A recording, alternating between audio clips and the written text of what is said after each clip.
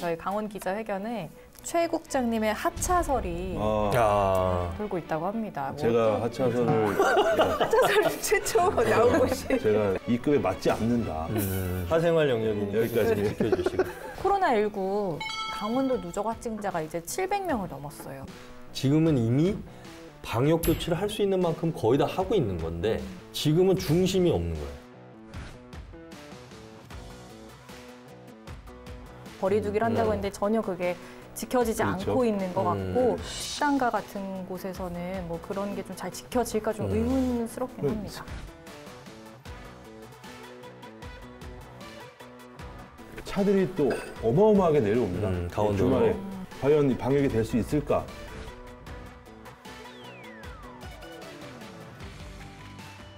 네. 방호복 입은 학생이 이제 좀 주목을 받았는데 주변에서는 방호복 소리 부스럭부스럭 하는 아. 소리 때문에 신경이 너무 쓰였다라는 학생들 음. 반응도 있더라고요.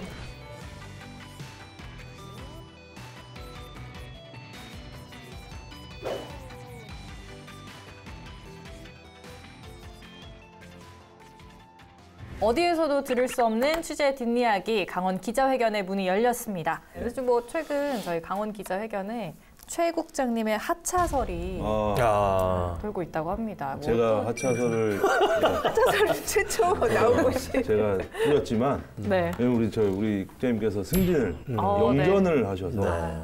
그래서 이제 이 급에 맞지 않는다. 음. 출연이 맞지 않는다. 또 그것보다도 워낙 일이 더 많아지기 때문에 이걸 챙길 수가 없는 네. 상황이거든요. 이- 준비하려면 엄청 오래 걸려요. 사실 얼마 많이 걸리시잖아요. 네, 어, 그럼요. 국장님 거의 3일 준비하신다는데 대본이 나오기도 전부터. 네, 대형 나오기 전부터 준비하신다 그러는데 네. 어떻게 네. 입장을 네, 발표해 네. 주세요. 뭐 가짜 입장 뉴, 발표. 가짜 입장 뉴스고요. 예, 내년에는 뭐 아무튼 지금 고민은 우리가 지금 하고 있지만 강원 기자회견이 정말 다른데 어디에서도 들을 수 없는 그런 탄탄한 콘텐츠를 가지고 운영을 하기 위해서 아직까지 미흡합니다. 그래서 제가 그 성과를 이뤄내기 전까지는 그 강원 기자회견을 꿋꿋이 지켜야 되지 않을까. 아, 진짜죠? 네. 아, 그럼 네. 제가 떠나는 거예요. 예. 네.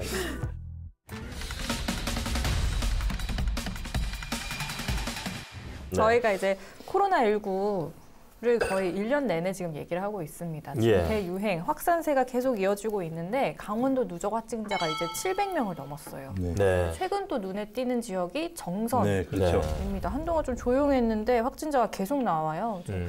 정선 상황 어떤지 좀 말씀해 예, 주시죠. 정선이 도내에서 유일하게 확진자가 없던 없었죠. 지역이었어요. 예. 예, 그래서 청정 지역이다. 뭐 이렇게 얘기를 했는데 지난 4일 최초 발생을 했습니다. 음. 네. 그 전날인 3일에 서울의 한 병원에 에 입원했던 이 환자가 예. 확진을 받았고 이후에 그 환자의 가족과 그리고 음. 병문안을 온 지인들 예. 사이로 급속도로 퍼지기 네. 시작하면서 이 오전 기준으로 했을 때한 7명 음. 정도가 발생을 했습니다. 네. 이 문제는 이 지역 간, 이 주민 간 이 확산 속도가 정말 빠르다는 겁니다. 지금 보면 한 사북면에 한 아파트 음. 단지가 통째로 지금 이 이동 선별소가 설치가 되고 음. 심지어 통제소까지 설치가 된 상황이거든요. 음. 그만큼 그쪽 상황이 좀 심각하다라고 좀 볼 수 있는데 네. 이게 계속 확진 확진자가 계속 나오게 된다면 이 정선 같은 지역은 더 이렇게 이 작은 지역이고 예. 인구도 많이 없고 또 이렇게 몰려 사는 곳들이 많기 때문에 네.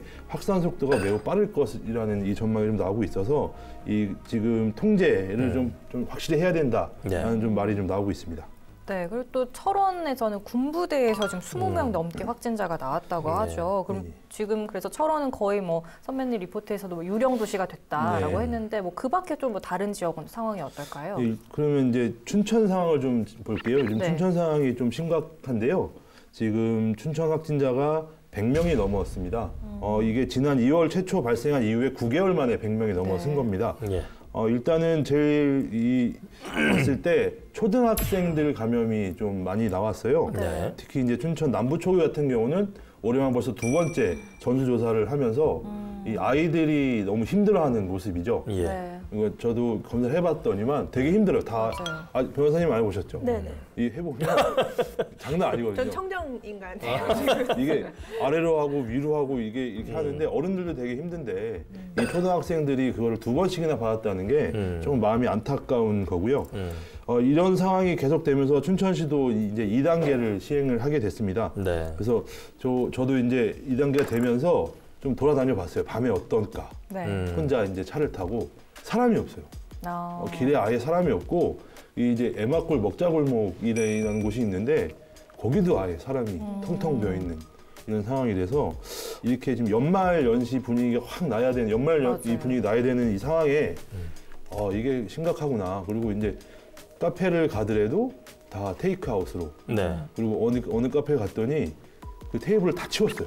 음. 다 옆으로 치워놓고 아예 못 앉게 어느 어디 어느 곳은 그 테이블을 그냥 진열대로 이렇게 만들어 놓고 했는데 그 카페 사장님한테 물어봤더니 오피스타운 옆에 있는 이 카페들은 대, 대부분 테이크아웃이라서 예, 예. 큰 문제가 없죠 그랬더니 아예 사람이 안 온다고 음. 어. 사람이 이렇게 와서 테이크아웃 가- 하던 사람들도 아예 안 온다고 이렇게 또 말을 하셔서 결국 이제 지역 경제와도 연관이 좀 있다라고 음. 볼수 있어서 근데 좀 다행인 게 우리 그 이재주 시장님이 얼마 전에 그 이제 대담을 하면서 말씀을 하신 게 이 그 전까지는 무증상 어떻게 감염이 됐고 이게 좀 많이 있었는데 지금은 감염 경로가 좀 확실한 음. 그러니까 가족 내 감염, 직장 내 감염으로만 이어져서 어느 정도 차단을 할 수 있겠다라고 음. 판단을 좀 하셔서 네. 좀이 진정세가 좀 음, 되지 않을까 하는 좀 생각이 듭니다. 네, 지금 변호사님도 춘천에 계시잖아요. 네네네. 뭐 춘천에 뭐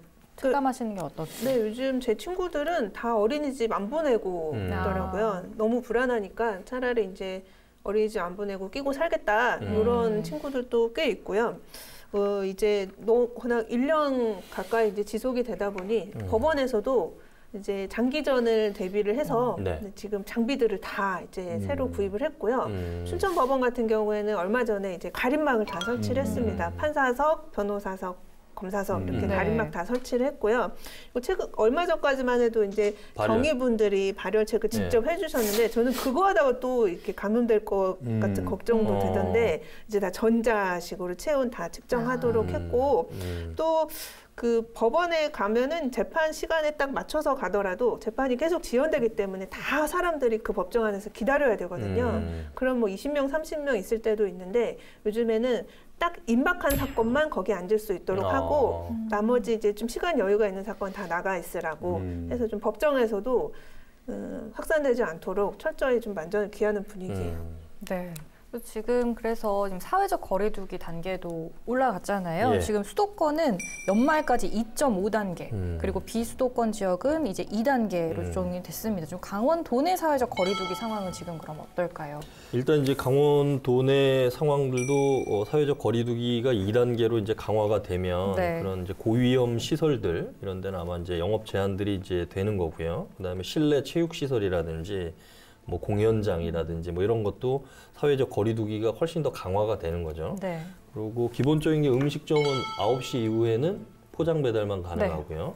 카페나 이런 뭐 커피 전문점 이런 데는 아예 포장 배달만 가능하겠죠. 여기는 뭐 아예 들어가서 앉아서 이제 뭐 먹거나 이렇게 할 수는 없을 것 같고요. 전문가들이 걱정된다고 얘기하는 게 우리가 1차가 연초에 막 확진자가 대구 중심으로 해갖고 나왔었잖아요. 특정 종교시설 위주로. 그리고 2차를 8.15 광복절 광화문 집회로 볼 수 있고 네. 3차가 지금 10월, 11월 이후에 지금 나오고 있는 건데 3차가 제일 걱정이 되는 건 뭐냐면 1차하고 2차는 핵심 그 지역 내지는 특정 뭐 기관, 종교 단체 뭐 이런 네. 것들이 있었어요. 거기만 막으면 잡을 수 있다는 거죠. 그러니까 그 당시에는 사회적 거리두기를 강화를 하니까 순, 순간적으로 한 1, 2주 지나서 잡혔어요. 그게 어느 이제 확진자 나오는 숫자가. 근데 지금은 중심이 없는 거예요. 네. 그러니까 결국은 어디를 막아야 될지를 방역 당국에서 종을 못 잡는 거죠. 왜? 가족들끼리 있을 때는 뭐 마스크를 벗고 좀 김장도 담그고 이런 게 일반화돼 있다 보니까 이거는 막을 수가 없는 거죠. 어느 지점만을 딱 틀어 잡으면 어 이게 뭐 확산되는 거를 좀 뭐 막을 수 있겠다 이게 아니라 지금 사회적 거리두기를 2.5단계냐 3단계로 높여야 되느냐 막 이런 논의가 있지만 전문가들이 가장 걱정하는 거는 지금은 이미 방역 조치를 할 수 있는 만큼 거의 다 하고 있는 건데 안 잡히는 거죠. 그런 것들을 사회적 거리두기 단계를 좀 강화를 하고 특히 이제 관광지라든지 지인들 간의 접촉을 어떻게 최소화할 거냐. 이런 부분들이 어떻게 보면 방역 당국에서도 고심하는 부분이지 않을까 싶어요. 그러니까 지금 보면 문제는 이제 강원도의 지난 주말에 스키장이 개장했어요. 네, 네. 네.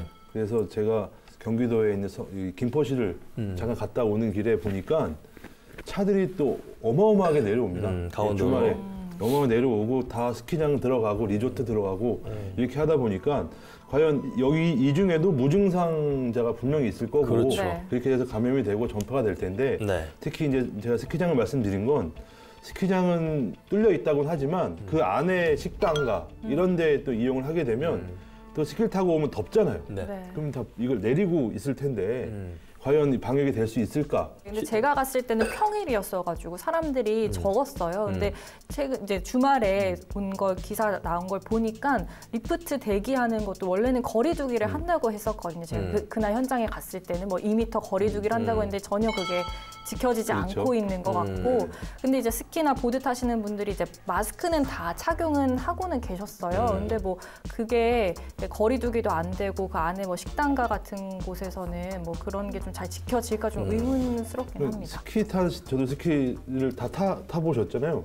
이 마스크가 음. 이게 비말용 마스크가 아니라 보, 보온용 마스크를 대부분 쓰기 때문에 그리고 특히 이제 리프트를 탈 때 1m 못 뛰잖아요. 음. 바로 바로 이렇게 붙어 있는 상황에 사람이 많이 몰렸을 때 과연 이걸 지켜줄까? 라는 것도 의문이고 그러니까 결국은 스키장도 또 이제 스키장이 워낙 추워서 바이러스가 존재하지 않는다. 뭐 옛날에 이 감기 바이러스가 뭐 없다라고 얘기는 하지만 그런 이제 코로나 바이러스는 또 어떤 상황인지 모르기 때문에 이 스키장이 이제 시작이 되면서 약간 또 좀 더 확산되지 않을까라는 좀 우려가 네, 나오기도 합니다. 그 수도권에서 2.5단계 올라가서 사실 저녁 시간을 보낼 곳이 없잖아요. 네. 네. 그래서 지방으로 더 막 가지 아. 않으실까 아, 그렇죠. 걱정도 많이 돼요. 저번에 저 그때 PC방. 수도권이 막 음. 이렇게 딱 막혔을 때 음. 강원도는 음. 그때 이제 1단계였고 음. 저 아시, 아시는 분이 이제 당구장을 하시는데 음. 아. 전화하려고 했대요 저한테 아, 너무 많이 와서? 새벽 4시까지 아. 사람이 줄 서 있어서 음. 그러니까 서울 사람들이 다 내려오는 거예요 예. 당구 치려고 내려오고 뭐 술, 헬스 술뭐 먹고 이런 내려오고. 스크린 골프 뭐 이런 것도 헬스를 내려와서요? 네, 뭐 예, 그 헬스를 네. 내려와서 운동 아. 매일 하시는 분들은 하루라도 운동을 못그 하면 소질이 오기 때문에 그런 손실이 사람들도 있고 술 먹는 사람들도 음. 내려와서 술 먹고 대리 타고 올라가고 이런 경우가 되게 많았거든요. 그래서 이게 수도권만 과연 올리는 게이 음. 답이 아닌 것 같고 그렇죠. 주변에 있는 다 대부분 이게 다 적용을 해야 될 것 같아요. 이게 음. 빨리 해야 제가 봤을 때 뭐 지금 경제가 너무 안 좋다 예. 이런 말이 있지만 이거를 빨리 잡아야 음. 경제가 더 단축돼서 이 기간이 단축돼서 경제도 또 올라갈 것 같은데 이거는 뭐 전문가들이 좀 판단을 해줘야 될 것 같습니다. 네.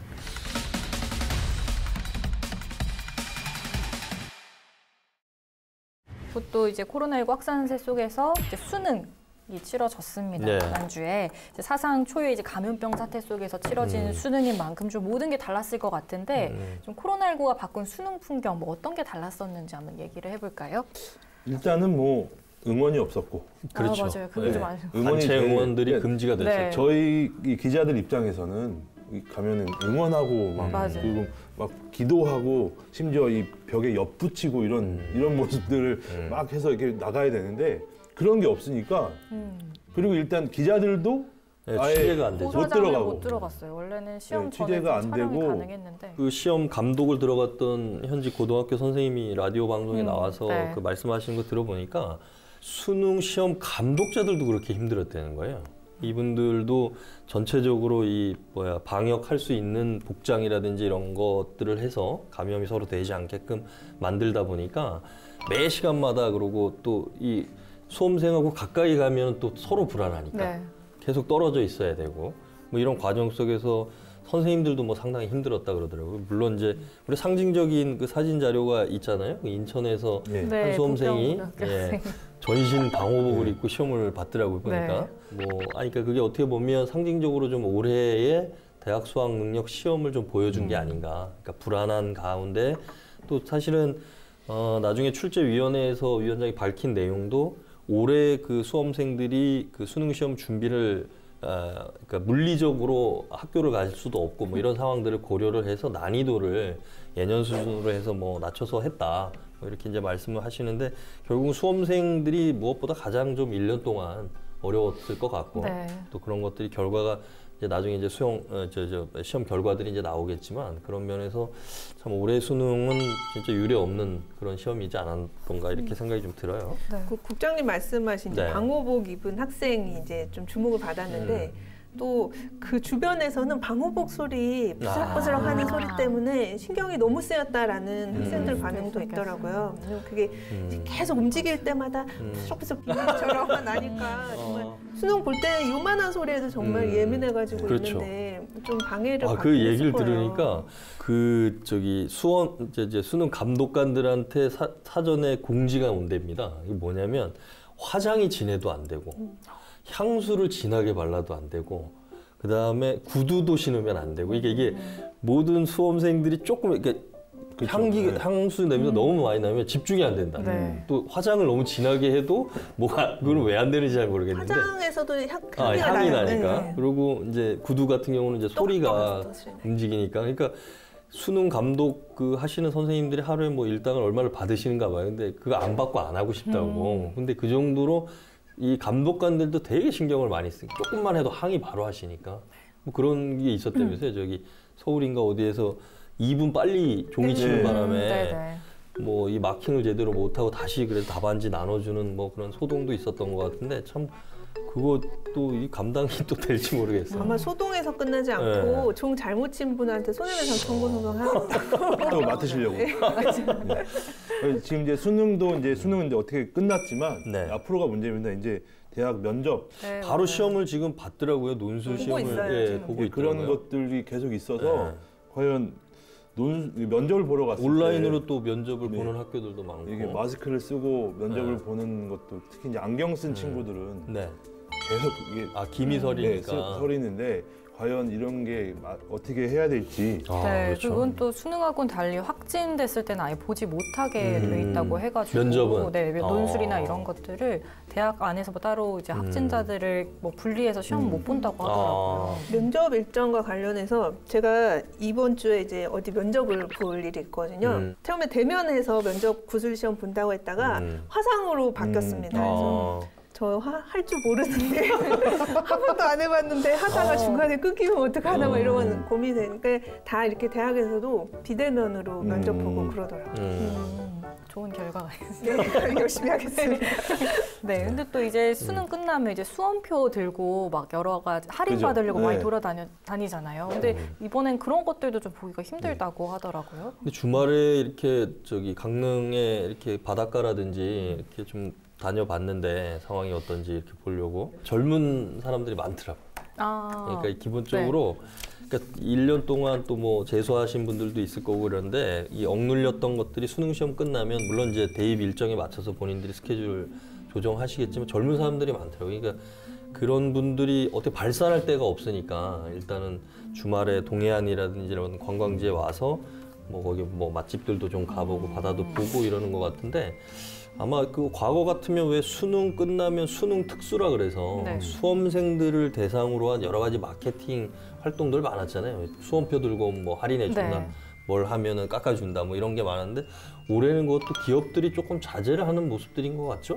뭐 지금 춘천시가 최근 2단계로 격상한 예. 이유 중에 하나가 예. 이제 수능 시험 이후에 음. 학생들이 이제 막 물- 밖으로 돌아다니는 그렇죠. 상황이 우려되면서 음. 그것 때문에 이제 급하게 2단계로 시행을 했다라고 음. 좀 이유를 댔거든요. 그래서 예. 지금 보시면 이제 수능 끝나고 학생들이 저도 그랬지만 네. 되게 답답함이 끝났기 때문에 그렇죠. 정말 와 하는 그, 음. 그 시, 시기거든요. 네. 다들 아 수능 안 보셨죠? 아, 제가 수능 1세대. 아 수능 아. 저희 때 두 번 두 번 보신 8월하고 12월하고. 네. 수능을 보고 난 뒤는 다 그렇게 하는 상황인데 음. 그걸 막기 위해서 이제 2단계 그리고 아마 정부에서도 2.5단계를 상향, 상향한 이유가 음. 어떻게 보면 이것도 있지 않을까 생각이 듭니다. 예. 그렇죠. 음, 저도 수능 끝나고 이제 수험표 들고 이제 음. 미용실 가서 머리 파마하고 그랬었거든요. 그런 기억이 있는데 음. 이젠 술 먹으러 간 게 아니라 머리 아, 파마하러. 머리 파마만 아. 했습니다. 음. 파마하고 어디 가셨어요? 파마하고 네. 클럽으로? 서울 서울 어딘가에서 났습니다. 네. 속 시원하게 할 말은 하자. 강원도의 열혈 기자들이요. 눈치 보지 말고 강원 기자회견으로 모이세요.